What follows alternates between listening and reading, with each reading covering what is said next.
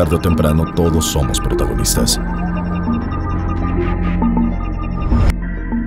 ¿Cómo está usted? Muy buenas noches. Ya estamos de nuevo aquí en su programa Fuego Cruzado. Ahora con don Jorge González Durán. Así, ahora aquí ¿Verdad? contigo, sí, esta mañana. ¿Qué tal? Esta noche. Digo, esta noche, sí, Ya, esta noche. Tú ya no sabes. si No, de pues es que me, confundes tú. ¿Por Sí. qué? Tu belleza. Te veo y me confundo, veo a Carlos Cardín y peor todavía. Ingeniero Rafael. No, no, no. Nos, nos pone en la línea. Ah, yo con mucho gusto acudo a tu programa y, y, este, y sé que esto es bueno. ¿Verdad que sí? ¿Ya ves cómo es bueno? No, yo también. Si Jorge y yo que sabemos que es bueno. Por eso tenemos fuego cruzado aquí contigo. Y lo mejor es lo que viene, que es esta cápsula que tú preparaste, ¿verdad? Así es. Veamos, bueno. por favor.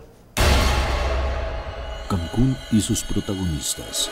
El próximo 20 de abril, Cancún cumplirá 45 años. A lo largo de este tiempo, se han sucedido hechos que le han dado un rostro y una identidad peculiar a esta ciudad que es, desde sus primeros años, ícono de México en el mundo turístico. Sin lugar a dudas, Cancún es la ciudad que los extranjeros identifican con nuestro país, aunque hayan voces que dicen que Cancún no tiene rasgos mexicanos de identidad. La historia la van haciendo sus protagonistas, hombres y mujeres de carne y hueso, pero también quienes han ocupado cargos de responsabilidad en el sector público. Los presidentes municipales han sido, en un escenario de luces y sombras, protagonistas y espectadores de primera fila de la evolución de Cancún. Algunos han cumplido con su deber y otros se alejaron de sus responsabilidades.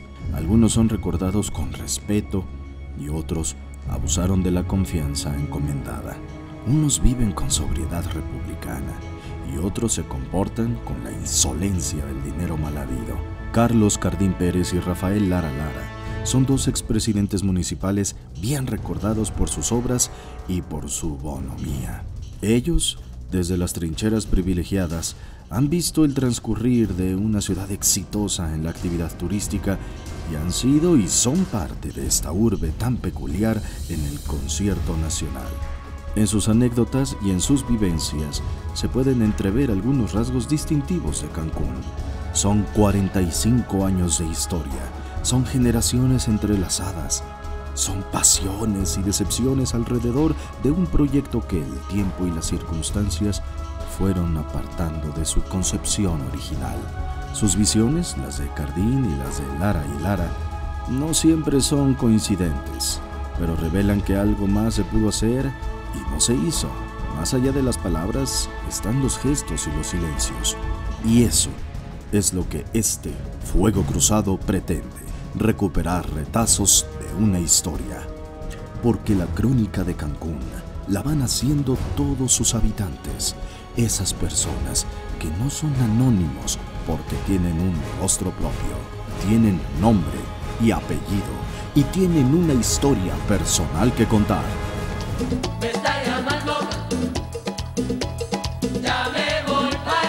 Y bien, ustedes, independientemente de que ya tienen edad para platicar muchas cosas. Mucha ¿verdad? edad. ¿verdad? Ya el, el tiempo se les vino encima con carnaval y con comparsa, ¿no? Lo cual es muy bueno, ¿no es cierto? Qué bueno que doña Lilia es tan joven que no tiene todavía tiempo de platicar. No, Pero no, sí no, tiene ni carnaval carnaval ni tuvo comparsa. Aquí está mi comparsa. y el carnaval no lo hacemos diario, ¿verdad? Así es. Hasta con invitados. Pero aquí lo interesante para Después muchos de Grey, es saber qué tanto añoramos de ese Cancún de antes. ¿Qué tanto estamos esperando construir realmente? ¿Qué es lo que queremos hacia adelante? Y para saber qué es lo que queremos hacia adelante, pues tenemos que voltear hacia atrás y, y- y ver todo lo bueno que teníamos, que a lo mejor hemos perdido, que a lo mejor ha sido sustituido por algo mejor. No sé, y en esto entra pues hasta la conexión de gas. Es peligroso hablar de gas. ¿eh? Algo. a ver, Rafa. pues, Es, es, un, es un conjunto de todo. Primero el carnaval y la comparsa y luego va la comparsa. Bueno, la, la realidad, si, si es que me permite la palabra, Pues yo añoro pues, aquellos tiempos felices y todo, pero estoy en que estoy convencido de que todo evoluciona y que, que Cancún Pero hemos evolucionado no para bien, ser- ingeniero. Yo siento que muchísimas cosas sí. Por ejemplo, eh, en educación, en aquel tiempo pues había carencia de educación superior, ahora ya la hay. Eh, En mi caso tuve que mandar a mis hijas afuera a estudiar después de la prepa, para afuera, y ahora ya no. En cosa de salud, pues también, o sea, tenemos ahora no digamos magníficos este, hospitales. Hay mucho mejores en México y Mérida, ¿no? Pero tenemos este, buenos hospitales, tenemos diversión porque tenemos infinidad de cines, quizás hasta más de los que se requieren ¿verdad? en cuanto a, a diversiones sanas. Este, sí añoramos la tranquilidad, porque en aquel tiempo había, siempre ha habido robos, pero había robos de, de ropa de los tendederos, cosas así. Ahora pues hay robos con violencia, ¿no? O sea, eso nos llegó porque pues, también lo malo se va extendiendo por todo el país y, y nos tiene que llegar. Pero en fin, yo digo que a mí me, me gusta Cancún y quiero seguir viviendo aquí. Yo veo un Cancún que lo vi sin nada. Yo nací en Chetumal y venimos aquí cuando la campaña de Luis Echeverría. Y nos tocó comer ahí en la Casa Maya, la Casa de los Lima, es uno. Y pasamos con un tractor adelante empujando la arena porque venía atrás el, el eh, autobús presidencial o del candidato presidencial. Y ahí nos fuimos hasta allá y no había más que dunas de arena. Y Cancún no existía propiamente, eran, estaba la 3, la Supermanzana 3 empezando a esposarse. Y prácticamente era un campamento. La gasolina la cargábamos ahí en el crucero con los Lima, con los Limas 1, con tambos y lleno de lodo, que era la gasolinera de los Lima, la única.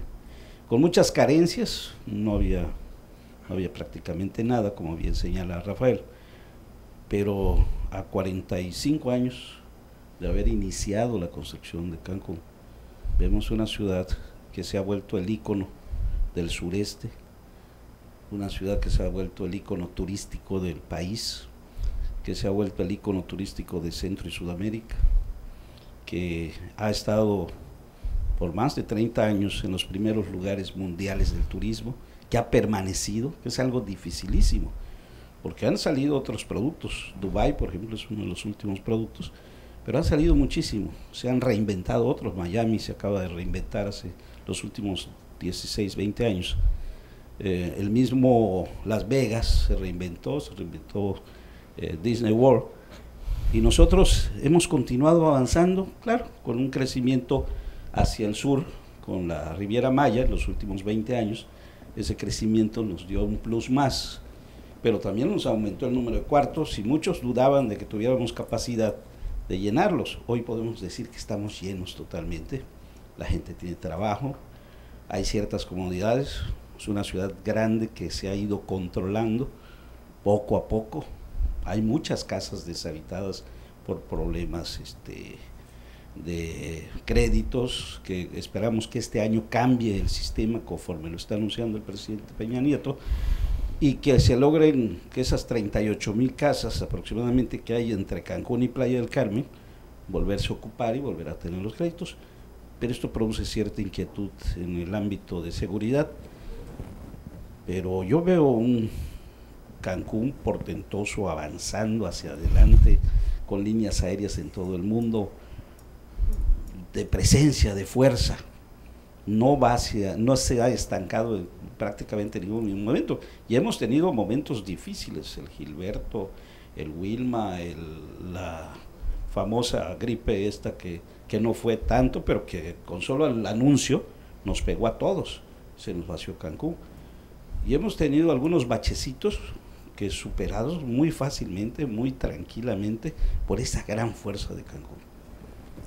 Por eso, pero también tenemos unas zonas limitadas para los ciudadanos, para los que viven el día a día en Cancún. Ya no es fácil que te vayas a las playas públicas, está la inseguridad reinante, están los conflictos ahora que llegan al grado de separación de, organizaciones hoteleras, eh, con divisiones muy fuertes, con cuestiones que no se vivían en un lugar como este, que no, no se pretendió jamás siquiera que existieran. Soy producto pues de la competencia, esas, divisiones, ¿no?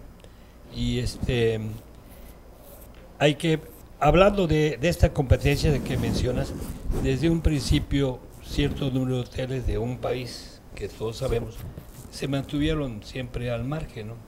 Entonces al haber el, el cambio de directiva se recrudeció por discutir sobre querían ampliar el periodo del sustituto y en fin.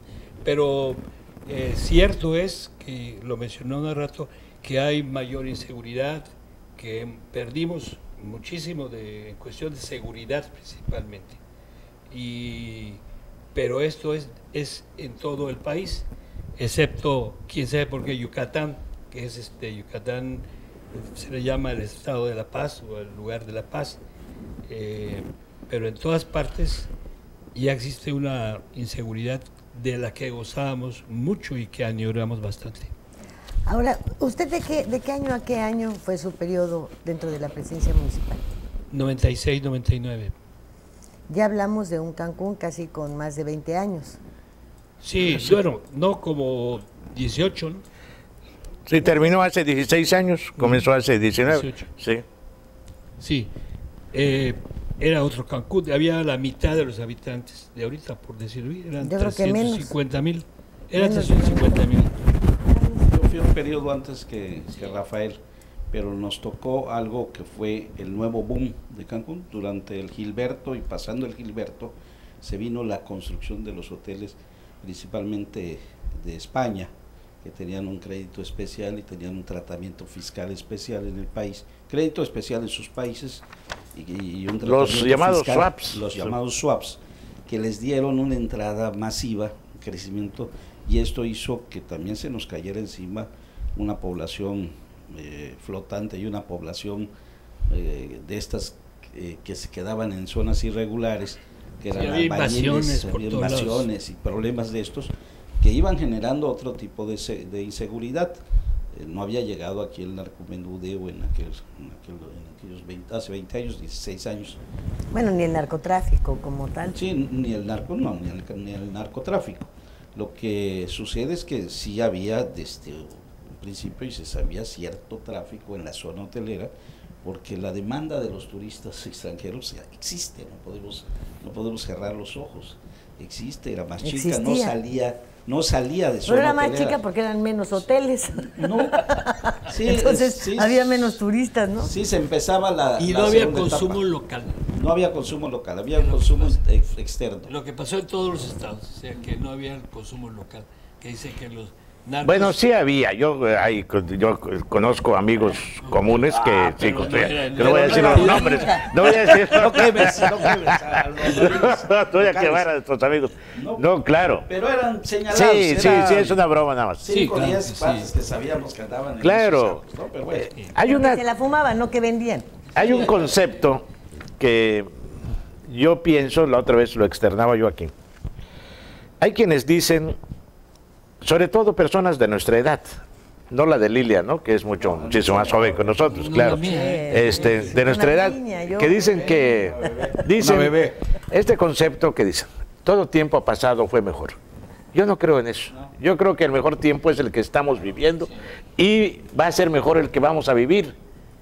Eh, Porque obviamente las situaciones son distintas, pero hay que guardar ese buen recuerdo de los tiempos pasados, de la convivencia, de que todos nos conocíamos y todo esto.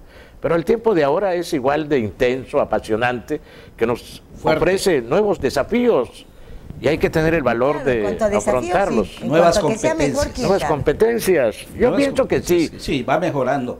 Ahora No. tenemos, Hay mejores cafés ahora tenemos que- mejores que- restaurantes. que yo voy a los restaurantes. Antes solo teníamos el de Tulum 13 de nuestros amigos allí, este, Calderón. de los Calderón. pues, ahora hay cafés para elegir a dónde quieres ir. No, ¿cuáles? Hay cafés para elegir. Hay Starbucks y párale de comer. Bueno, hay otros, No, hay hombre, muchos no, más. no, otros, tú no Cierran hay y muchos. abren y cierran y abren, pero hay- No, yo sí extraño los chongos la- zamoranos. No, yo también los extraño, pero el La tiempo que estamos viviendo es maravilloso.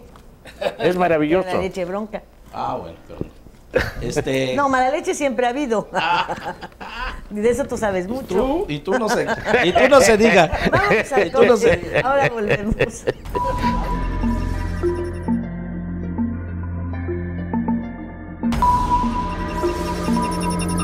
Fuego cruzado. Y en esta esquina, Entusiasmo, entrega, responsabilidad, apoyo al deporte y un gran compromiso informativo, porque los logros van de la mano con el servir a la gente. Que Las cosas que queremos. Los proyectos que empiezan. Las ilusiones concretadas necesitan una asesoría legal y una base concreta. Notaría 64. Respaldamos tus actos legalmente.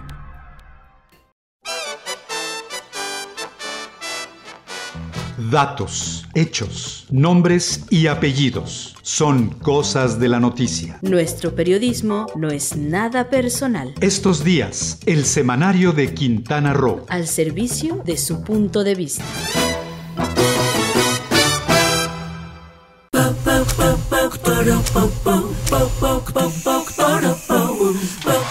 En Scissors encuentras la elegancia,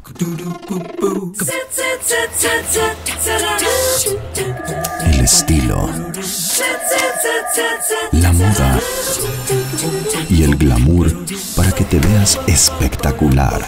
Scissors, centro de belleza y alta peluquería. Plaza Bonampa 45, local 6, Cancún, Quintana Roo.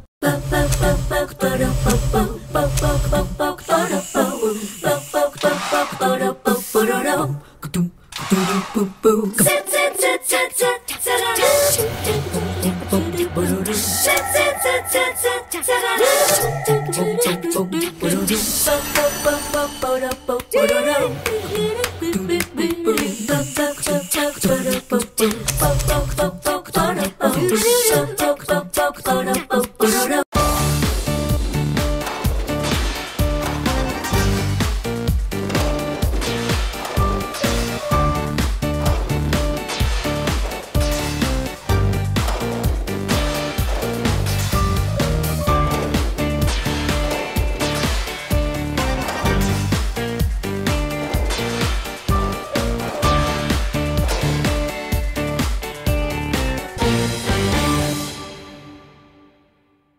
Publicidad.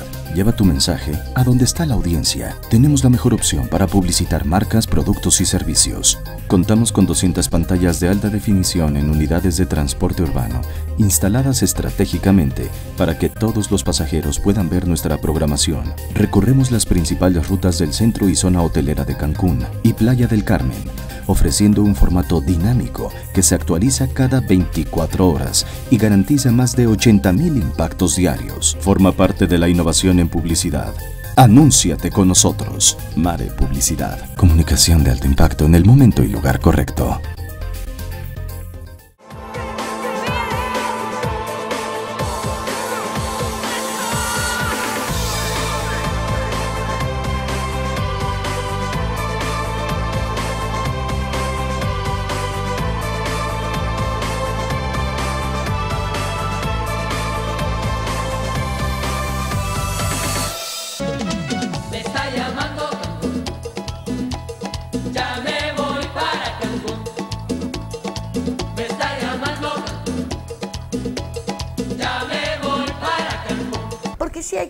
Se, que se extrañan. Eh, Era muy Bueno, extrañamos, ¿sabes qué extraño yo? Perdón, Lidia, que te interrumpa ahora. Una de cal por las que van de arena, ¿verdad?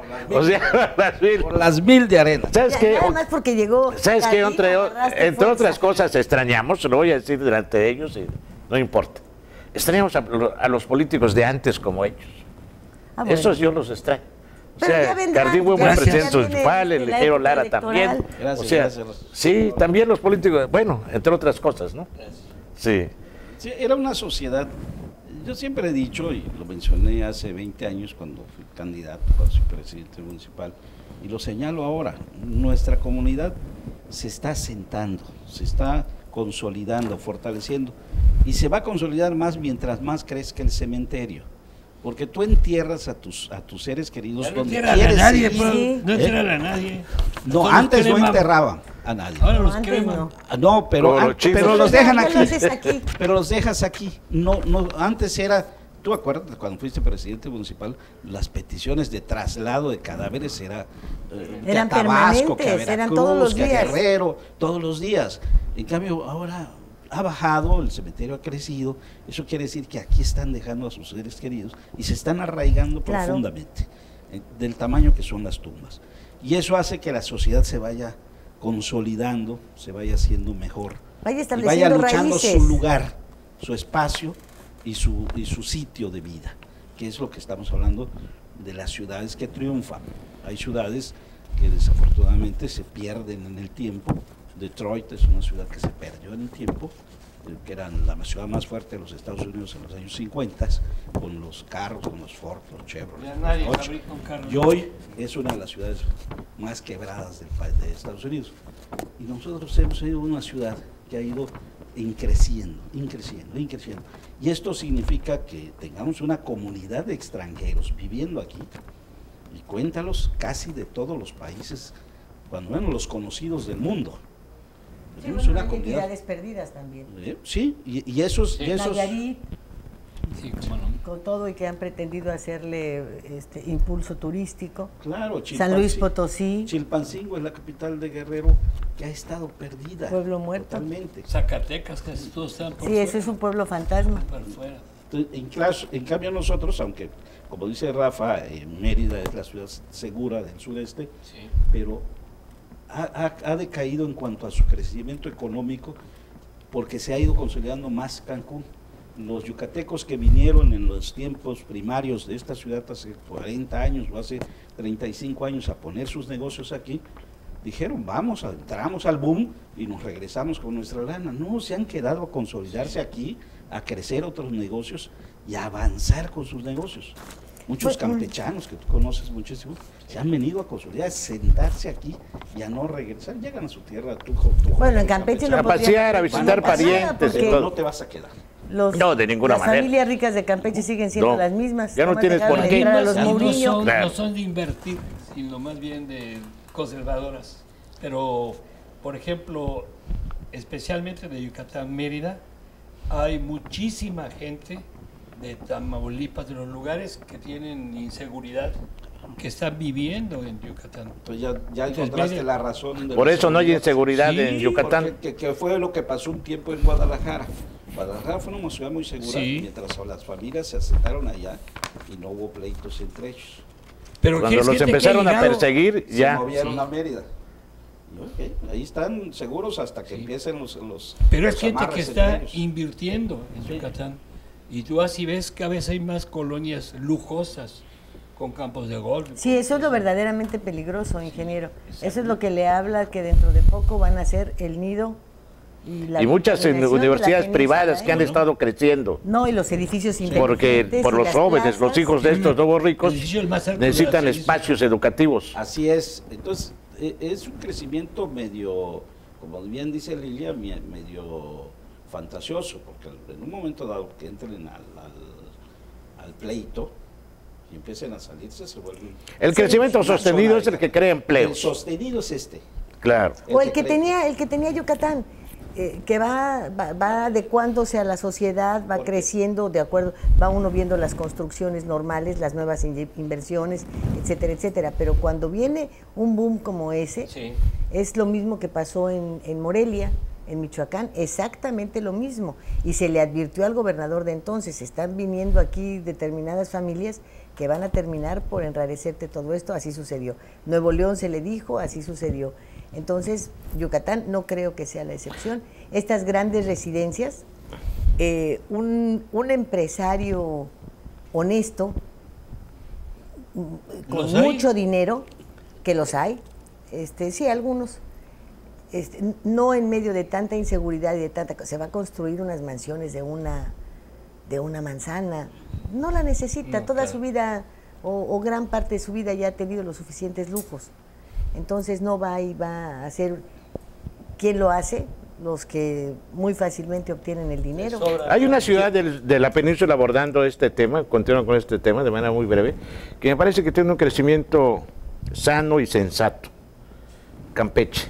No, La Campeche ciudad de Campeche. crece. Por eso, No, ahí pero está. sí, sí pero, pero ahí está. La estabilidad Está. que tenía Mérida se está yendo a Campeche. Sí, Y, así y- es. y lo que decíamos ahorita de, de Mérida. y la va a perder por, por, por lo de Pemex. Lo que, lo que decíamos Puede ser. Sí, hoy- es lo que quería decir porque eh, Campeche tiene ahorita un grave problema con los recortes de lo del petróleo. Sí. Ciudad del Carmen es un, va, Va va a ser un polvorín.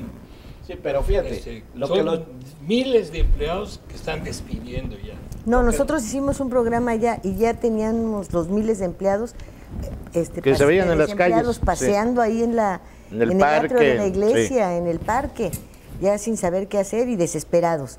Ahora, esto se lo sumamos a que esta baja también ha llevado a las, a las petroleras privadas a despedir personal.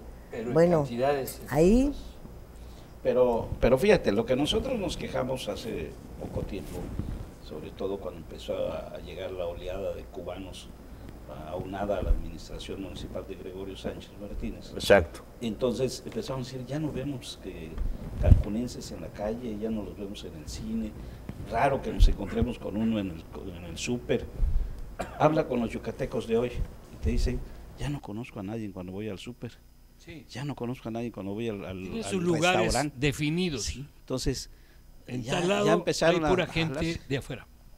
Sí, Entonces empiezan a jalarse a, a buscar sus refugios los yucatecos, hacen su restaurante y ahí es donde van ellos, pero en lo demás están invadidos, tienen una invasión. Hay nuevos acentos, nosotros. nuevas formas de vestir, todo. Y nosotros hemos tenido esta cultura, que es una cultura que cancunense. De la recepción de todos. recepción de todos lados.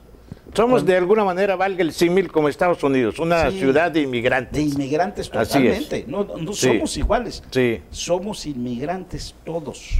Todos tenemos una vida anterior.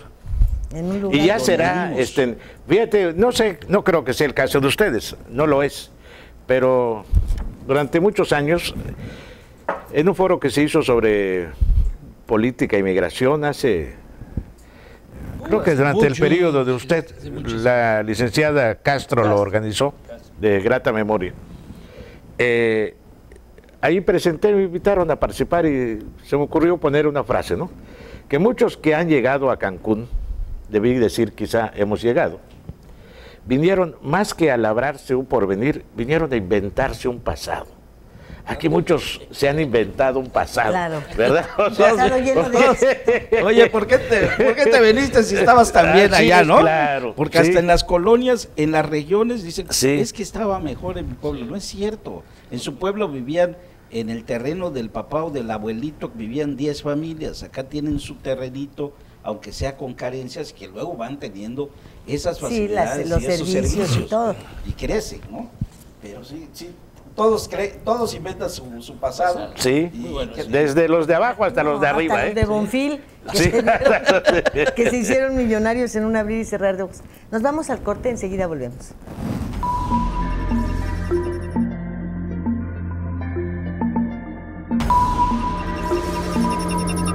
Fuego Cruzado.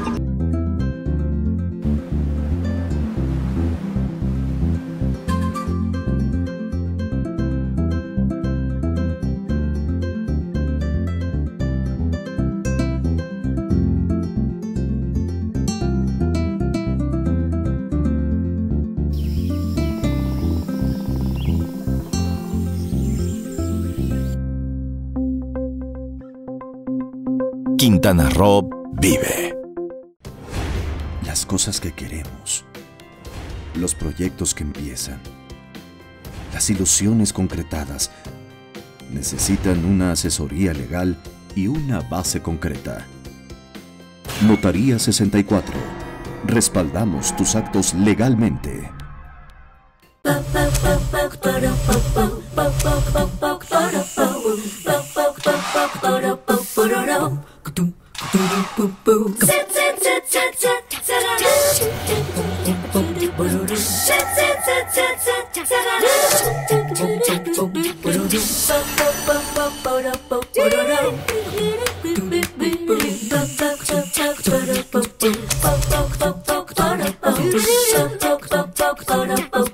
Mare Publicidad. Lleva tu mensaje a donde está la audiencia. Tenemos la mejor opción para publicitar marcas, productos y servicios. Contamos con 200 pantallas de alta definición en unidades de transporte urbano, instaladas estratégicamente para que todos los pasajeros puedan ver nuestra programación. Recorremos las principales rutas del centro y zona hotelera de Cancún y Playa del Carmen ofreciendo un formato dinámico que se actualiza cada 24 horas y garantiza más de 80.000 impactos diarios. Forma parte de la innovación en publicidad.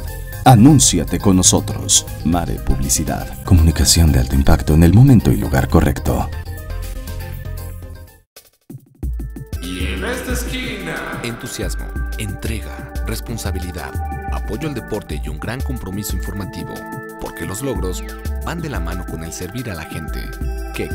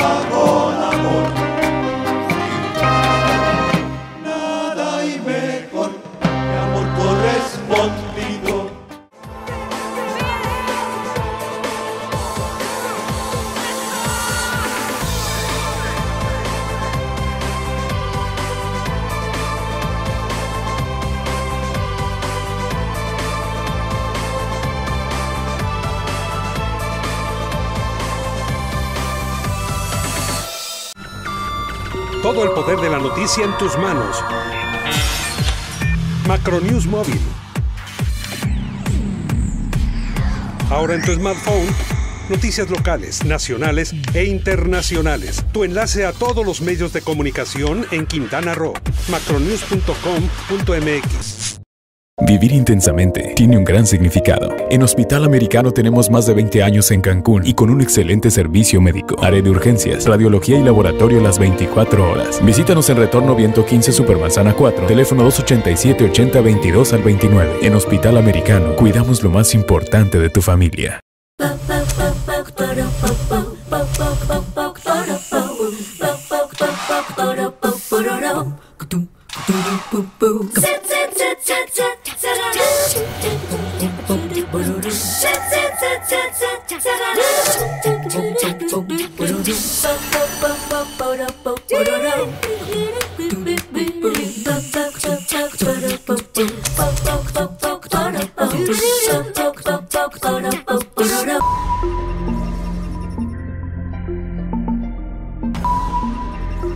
Este año se anticipa que los rendimientos, es decir, los intereses en las AFORES, los fondos de ahorro para el retiro de los trabajadores, se desplomarán en más del 40% de las ganancias que habían reportado hasta 2014. Hasta entonces los rendimientos variaron alrededor del 16% y ahora en el mejor de los casos se espera que alcancen no más del 9%. Las autoridades justifican este desplome en los fondos de pensiones porque dicen han bajado las tasas de interés en los mercados financieros internacionales.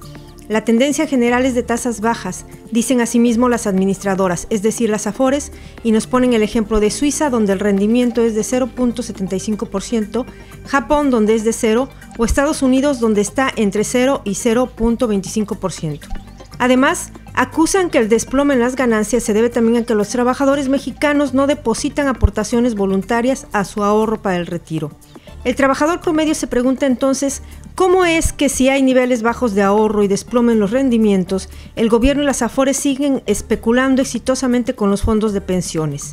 Es más, siguen cobrando comisiones por el manejo de estas cuentas individuales que entre el año 2000 y 2014 les redituaron en conjunto 241.755 millones de pesos. Además de las comisiones extras que cobraron algunos promotores al traspasar las cuentas sin la autorización de los ahorradores, de una afore a otra que les ofrecía menores rendimientos. A la pérdida en los rendimientos, tanto el gobierno como las administradoras que funcionan dentro del sistema bancario le llaman minusvalía. Los ahorradores por su parte le llaman fraude. Antes del caso FICREA, donde muchos ahorradores perdieron su dinero, en tan solo cuatro meses de abril a agosto de 2013, las afores del país registraron una caída en los saldos, de la cual los ahorradores no se enteraron hasta que recibieron sus estados de cuenta con reducciones desde 10 mil hasta 150 mil pesos en sus fondos de pensiones. La caída fue de 139 mil millones de pesos y la Comisión Nacional para la Protección y Defensa de los Usuarios de Servicios Financieros, Conducef, dijo que las minusvalías, es decir, las pérdidas, se debieron a las variaciones normales que existen en los mercados financieros, asegurando que a largo plazo, es decir, en cuatro o seis años, los ahorradores recuperarían su dinero perdido en cuatro meses. Y según se fueran recuperando los mercados y los sectores en los que las AFORES invierten el dinero de los trabajadores. Invierten, por ejemplo, en sectores de la construcción, en planes a largo plazo y de riesgo. Prestan además dinero para desarrollar proyectos de infraestructura en el país, como por ejemplo la Comisión Federal de Electricidad, Pemex, Vivienda y autopistas en estados y municipios. De eso hablaremos en la segunda parte de este segmento.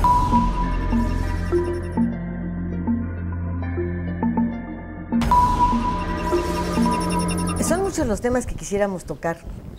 Acercarnos, no sé si al, pasado, relacionarlo más con el presente, pero también con las leyendas urbanas. El, el Dragon Mart ya se convirtió en una leyenda urbana. Así es. El a otro, Dios. eh, eh, pues, ¿qué era? Un, un bodegón que estaba ahí, que le llamaban el Ah, no como sé no, qué. el que está en Bonfil. Sí, Ah, el sí. La, afuerita. Sí, hombre. Tenía una especie de ventanas tapiadas, no sé Ah, qué era eso. dos. A la, a la entrada de residencial osario. campestre. Sí, Hay uno así. Y al lado la bodegota. sí. Iba a ser, esa bodegota iba a ser un centro de artesanías. Y el otro iba a ser un hotel. Un hotel que quién sabe quién lo diseñó, pues, está tremendamente horrible. ¿Y el de, el de campestre? Ese, ese está hablando. de Sí. a la entrada de residencial campestre, a la izquierda iban a ser.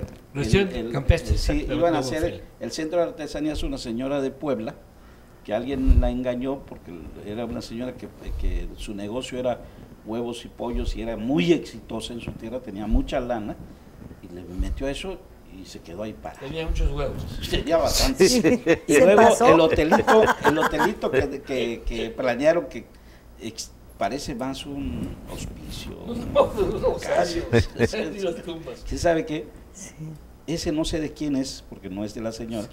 Ese lo construyó también y casi al mismo tiempo quedaron abandonados y, y nadie volvió a usar eh, ni a, ni a cambiarle. Es una de las raras historias y leyendas de, de Cancún. Porque si ves aquí algo que no sirve, de pronto lo cambian y lo adecúan a alguna cosa muy Pero modernista. no he visto, por ejemplo, donde hicieron el, el tianguis. ¿Cómo se llama este lugar? Que también es un bodegón. Ah, el tianguis, eh, el tianguis El turístico. Esta vez el tianguis Ah, turístico allá, Bueno, allá center, después del el- aeropuerto. el este, center. La CAM, La CAM. La CAM, para mí, es alguien que lavó mucho dinero Y ya, ahí quedó. y ahí se quedó, porque Pues antes lo no- usó para la. tres eventos, pero, pero eso fue circunstancial, Sí. que le llegó la, la- esta convención internacional, pero ha hecho tres a cuatro eventos grandes. El En costo años. de tener ese lugar cerrado es altísimo, pues el Sí, mantenimiento no. que tienen, porque además está en buen estado, se pasa Está en buen estado. 20,000 metros cuadrados. que de repente ponen a funcionar los aires acondicionados para que no se descompongan. y- Imagínate el costo, costo mensual de tener eso ahí cerrado, un elefante blanco que no hay para qué usarlo. Pues el tianguis sí, porque pues, Pues sí. estaba un espacio así, pero ¿qué otra cosa? Entonces ahí vamos viendo cómo se van construyendo leyendas en torno a, a negocios que nadie sabe cómo aparecieron, qué se va a hacer con ellos, cuál es el destino final. Nada. Bueno, el ayuntamiento tendrá que eh, hacer en base a, a desarrollo urbano algún planteamiento buscando a los dueños si qué sucede pues, con con- este. es- Pero, Pruebas de Indiana ha pagado derecho predial y ahí se los incauta y se acabó. pero, pero habría que y ver Donald Trump, cómo. ¿qué? Tú, tú estuviste ahí en contacto con eso, ¿no? No, yo estoy en contacto sabes. con los hijos de Donald Trump. Con él nunca, porque no quiere a los mexicanos. Ya lo vimos muy claramente en sus expresiones. Od- odia dos cosas Donald Trump. Volar, o sea, él no vuela, él no, no se sube a un avión. Y, este, y a los mexicanos. Y bueno, él tenía. Y bueno, y un entonces, ah, proyecto. bueno, se va en barco a Europa o qué. Mira, las raras, no, van a los hijos. Él, él no sale de, de- ¿De Nueva York? Nueva York. Prácticamente usa mucho, es un tipo muy, muy bueno para los medios de comunicación y, y es muy espectacular. Entonces, aparece, parece que está en todos lados, pero está ahí metido en su lugar, en su, en su Ah, cueva, mira, ¿no? ¿quién le copió? Eh, Así Un es. poquito de turquesa. Entonces, Sí. este, creo que, que, bueno, Donald Trump tenía interés en desarrollar el, el lado este de, de, Cozumel. de Cozumel, que es un terreno espectacular que tiene Fernando Barbachano ahí, eh, con unos atolones súper magníficos, yo los he buceado. Este, ¿Qué son atolones? son unos, son unos eh, como tipo, Unos pozos tipo de atole, pero muy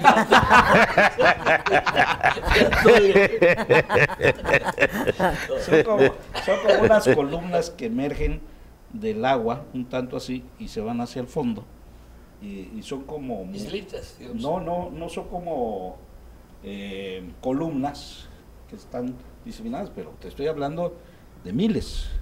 Y solo existen prácticamente en esa zona de Cozumel y una parte en Australia y algún lugar, otro lugar del mundo.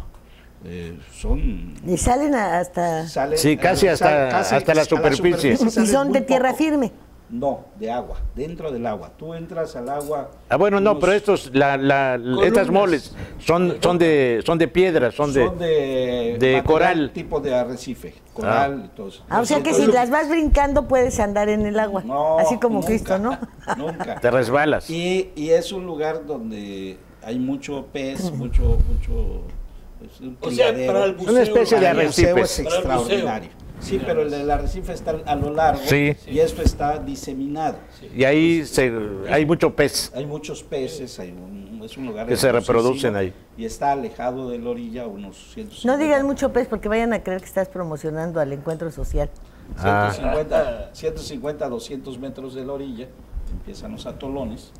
Y entonces, este, eh, ahí la zona era para crear un- unos hoteles, unos... eh, Como palafitos arriba.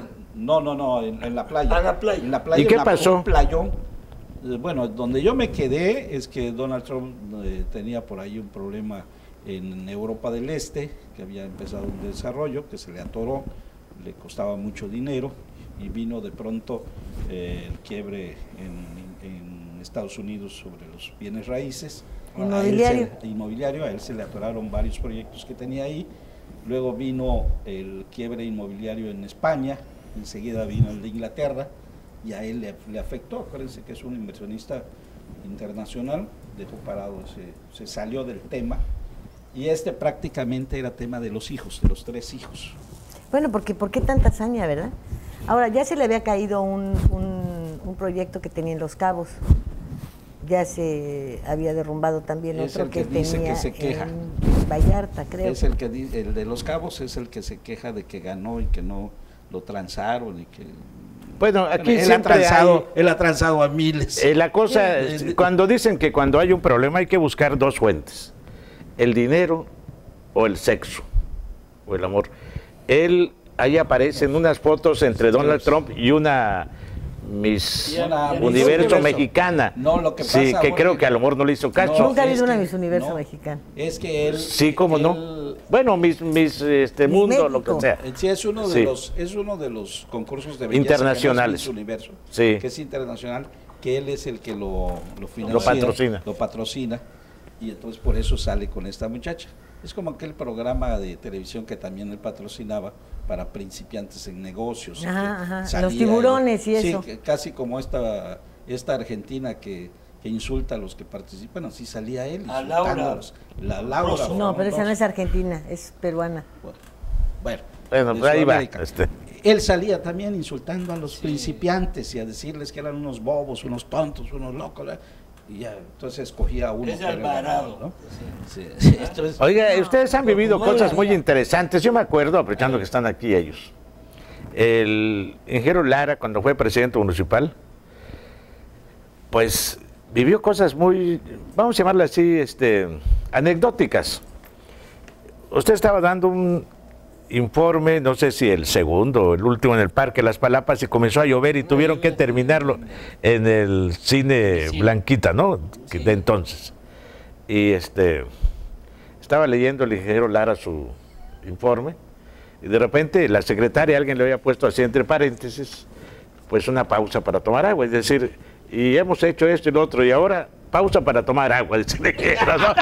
O sea, se siguió. Sí, no. Para tomar agua. Y ya Bueno, estaba próxima la, su sucesión y el PRI había anunciado que iba a hacer una consulta abierta donde participó Magali, Magali. y seis aspirantes más. Y le preguntaron al ingeniero Lara su opinión al respecto. Y él dijo que no estaba de acuerdo con la consulta abierta a las bases. Porque, ¿Por qué? Porque creo que Cancún aguanta todavía un dedazo más. Dijo,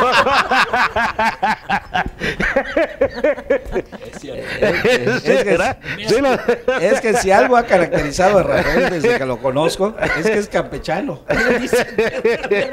¿Cómo va?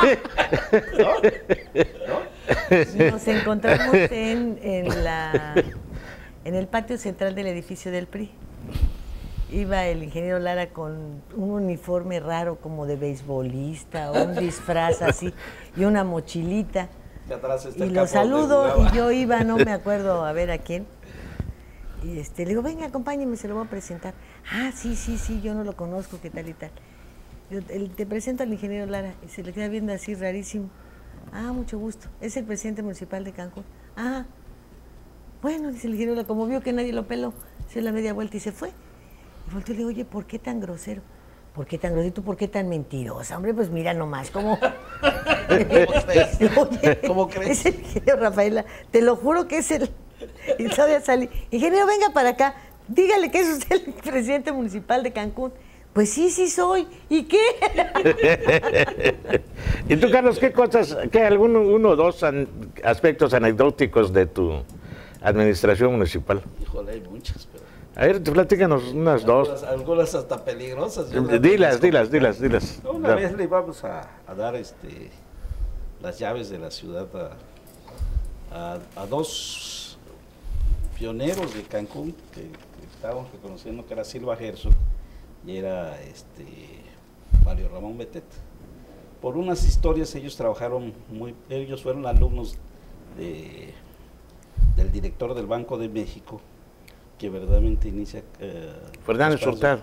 No, No. este... Rodrigo Gómez. Rodrigo, Rodrigo. Gómez. Ellos fueron sus achichincles, secretarios particulares Sí. este, y, y fotógrafo. Además decía, decía Silva Gerso, yo tengo que andar con la cámara aquí, porque no sé, no sabía cuándo Rodrigo pedía una foto. Y no había fotógrafo, yo era el particular y el, el fotógrafo. Y me decía Mario Ramón Beteta, pues yo estaba peor porque habiendo venido de Yale de hacer mi, doctorado, este, me ponían a recortar todo lo que saliera de turismo o lo que saliera de cuestiones financieras. Y hay un escritorio de, un metro por un metro. Yo todos los días decía, ¿qué hago acá? ¿Qué hago acá? ¿Qué hago acá? Hasta que me dijo el viejo, ¿por qué? Y, y a ellos venían con las comisiones de- del Banco de México, del Banco Mundial, del Fondo Monetario Internacional, a recorrer. Y ya me hicieron muchas reflexiones de esos tiempos, eh, antes de que aparezca este, Enrique Sabiñac, y antes de que aparezcan los que ya, ya fueron trabajando en el proyecto. El- ellos traían a las, a las misiones para ver los créditos que se necesitaban. Y en una de esas meses sí lo ejerzo. Vine con uno del Banco Mundial a dos lugares, en Tabasco porque quería desarrollarse la ganadería y aquí porque quería desarrollarse turísticamente. Y resulta que en Tabasco había una sequía espantosa. No había nada de agua. Todo, todo seco. Todo, Qué raro. Sí, qué raro, que es una tierra de agua. una, Así es. era una tierra con mucha lluvia, mucha agua. Y luego volamos aquí. Y una lluvia, moscos, todos los de la misión quejándose. Oye, ustedes están locos. ¿Cómo van a hacer aquí un destino turístico donde hay tanto mosco, tanta lluvia, tantas cosas? Y ahí donde no hay agua, quieren meter ganado. Tan, tan- tan- tan mal, ¿no? Entonces me lo decía yo. Y entonces lo, lo citamos para, para darles un, un reconocimiento ante el Cabildo. Y bueno, la, la cuestión era que todos fueran de guayabera blanca, incluso ellos. Y vino el gobernador Mario Villanueva con una camisa floreada. Floreada, este, Hawaiano. hawaiana y un poco más. Y dije, oye, gobernador, ¿no te comentaron que la ceremonia era de, de guayabera, manga blanca, eh, eh, guayabera blanca? A mí nadie me va a decir cómo me voy a vestir. Se acabó el tema. Se acabó el tema. Ya están las fotos y el celular visible. De la... Bueno, pues sí. Ahora, protocolo no. esta, esta intención Así es. de meter gas natural en un momento en el que se descubre tanta corrupción por fuera, por dentro, por los lados, arriba, abajo, etcétera, ¿qué tan sano es? ¿Qué tan sano es si sabemos que las cosas se arreglan de 20 mil formas en nuestro país y que son instalaciones extremadamente peligrosas? Yo, yo también considero como tú que es extremadamente peligroso. Ha habido muchas experiencias malas eh, y creo que no, no debe de hacerse. Yo creo que no. Que no procede, ¿verdad? No. A mí me da muchísimo temor, aunque grandes ciudades del mundo lo tienen, pero no tienen el, eh, este ligero problemita que tenemos en México en donde todo se vende, todo se compra. No, y todo se roba. Y no se toman las tomas medidas. Y se va un accidentazo. correctas y Coincido en esto, aunque hay una gran demanda en la zona. Y por ejemplo, en, en- en el otro tema que es Gasavión, cuando tú ves en la semana las pipas que llegan al aeropuerto, hay un riesgo mucho más grande. No sé, yo he contado hasta 120 pipas en, una- en un sábado enfiladas a descargar, porque el consumo de combustible en esta ciudad de, de los aviones, como es más Claro. fácil y antes era más barato, no sé ahora cómo está el tema de precios, los aviones extranjeros cargaban aquí para regresarse cargados a su, a su base. Ahora no sé si están en competencia estos precios. Ahí se había hablado de un, sobre todo en tu administración, de un ducto que traería el gasavión Sí. directo al aeropuerto. Traía, eh, más bien era a Leona Vicario. Por Leona Vicario se consiguió el terreno en el ejido. Y luego todo, cruzarlo Un al aeropuerto. gasoducto que vendría desde Progreso de barco hasta Leona Vicario. O sea, progreso llegaría todo este gas, todo este ah, combustible en barco. Pero que son- peligrosas las pipas. Gaso- gasolina. Gasolina Gasolina. y gasavión, pero ¿por qué se paró, Rafa? Porque eso que de pronto Yo creo, bueno, entre los tantos chismes, como dice muy bien Lilia, eh, corrupción y todo, eso afectaría muchísimo a los transportistas de... Sí, de- pero de- a las pipas. yo, A los yo piperos. creo son- que, que son millones. Y- creo que Y es una mafia. creo que eh, efectivamente son un peligro las, las pipas, son un peligro los camiones con los cilindros de gas, eh, pero si nos vamos a las estadísticas, las explosiones son mínimas y los daños son mínimos a los que acarrearía una sola explosión en una, en una red de esta naturaleza. No se los digas a los de Sí. Coajimalpa, ¿eh? Ellos lo saben. Una pipa destrozó un hospital. No, es que no fue la pipa. No. Todavía las investigaciones no se cierran. Pero las- la, la fuga de gas se venía se hospital. de, de las de instalaciones Sí. del hospital. Pero la base el fue la hospital, pipa. No, el hospital tenía fugas. Desde la noche anterior habían reportado fugas. Cuando llega la pipa ya estaban incluso los bomberos ahí tratando de buscar dónde estaba la fuga de gas en el hospital. Pero los bomberos, para desgracia en México como aquí, no cuentan ni siquiera con los aparatos para poder determinar en dónde está la fuga. No, aquí sucedió, así, aquí sucedió así. Tu- Tuvo que venir a la una de la mañana la gasera para buscar de qué casa estaba saliendo el gas, porque los bomberos no tenían cómo identificarla. Y una cuestión parecida sucedió en Coajimalpa. Pero Este- tenemos San Juanico. Este proyecto de Tenemos frustrado, fallido de Leona Vicario, años después se pretendió hacer en Puerto Morelos. Sí. Y ante el solo anuncio del- de la intención, los habitantes de Puerto Morelos protestaron y se Uh, falló. Fue un escandalazo. Que Sí, una cómo no. comunidad muy fuerte. Sí. Estas charlas son Sí. muy amenas, sobre todo para la noche. Pero ya nos tenemos que ir. ¿A dónde? Y yo, pues ya. a- a- ¿Quién va a invitar? Eh, yo por lo pronto, ingeniero Lara. Muchísimas Ah, gracias, mire. Recibir una flor Jardín. de una flor, pues oye. Sí. Sin espinas. Don Carlos, Sin sin, espinas. espinas. Sin espinas. Tú te andas chorreando todo el tiempo. Sí. Ah, son flores sin espinas. No, hombre, pero se lo merecen porque como, Gracias. decíamos- Claro. como decías hace un momento, también extrañamos autoridades como ustedes. Si me ¿eh? permites, quiero Así es. dedicar esta flor a, la, a que murió Lo- Lorenzo Mendiola, el arquitecto. Ah. Sí, eso, Cancún. Sí que. Y, y esta flor a, a nuestro amigo Gabriel Escalante, que está luchando por su vida en sus últimas horas. Muy bien. Bueno, ¿Se acuerdan de mí? eh? Si me dices cuándo, si me dices cuándo va a ser, te mando 50 flores. Muchas gracias, ingeniero Oye, ya, fuera de programa, ¿no? Ya. Allá, ahorita que nos vayamos. Pues las anécdotas. Ya. Todavía. La Todavía. que, la mejor que me pasó es que en las administraciones de hace tiempo, y cuando yo estuve, se acostumbraba Ya, vamos a despedirnos y luego sí. Ya. Ya. Buenas noches. Buenas noches. Buenas noches. Buenas noches, buenas noches. Fuego Cruzado, donde tarde o temprano todos somos protagonistas.